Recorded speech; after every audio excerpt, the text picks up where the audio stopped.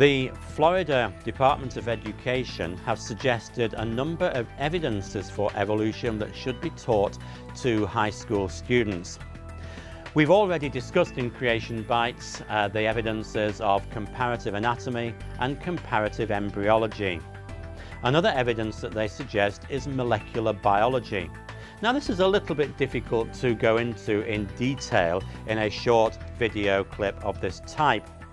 Basically, we're talking about molecules and how small molecules could get themselves together to form simple cells. But just the phrase simple cells belies a huge amount of truth because the simplest cell that you can possibly find is in truth not very simple on the chemical level at all. It actually has all the sophistication of a major industrial city. And that's just one so-called simple cell. The idea that molecules could get together to do that is really quite fanciful. Experiments have been proposed where supposed early atmospheres are reacted under various conditions, usually without elemental oxygen, usually with electricity, and producing amino acids, which are said to be the building blocks of life. On one level, you can say that that is true because uh, DNA molecules will contain various proteins and those proteins would be made of amino acids. So you could say that's true, but the DNA itself can't come about by chance and wouldn't have been synthesized in such a reaction. It actually contains those proteins in particular orders which actually amount to an intelligent code. But even the amino acids themselves are problematic. One of the amazing things about amino acid molecules is that they contain asymmetric carbon atoms.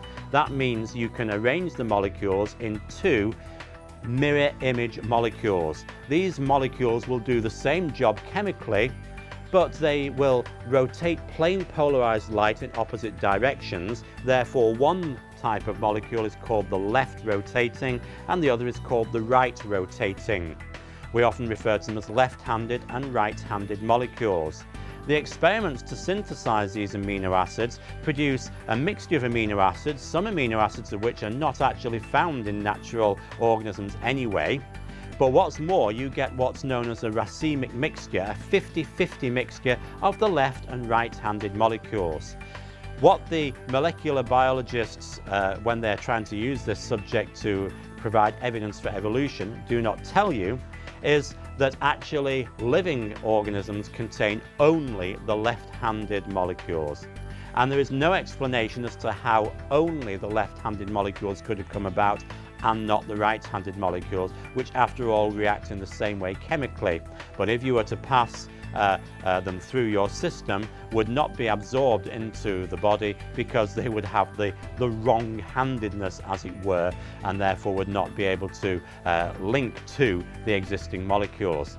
So simply stating that molecules can get themselves together to form simple cells is very disingenuous, is very misleading and should not be offered as an evidence for evolution because it is not.